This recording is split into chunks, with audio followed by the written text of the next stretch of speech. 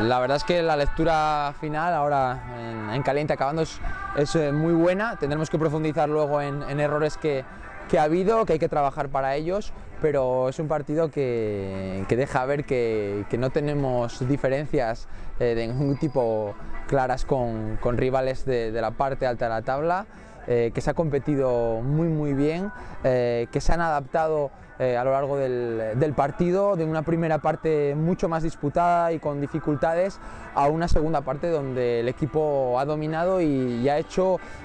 buen trabajo en todo el campo. Nos viene muy muy bien el, el partido por la altísima exigencia y por haber mejorado dentro de él para, para solo crecer para el siguiente.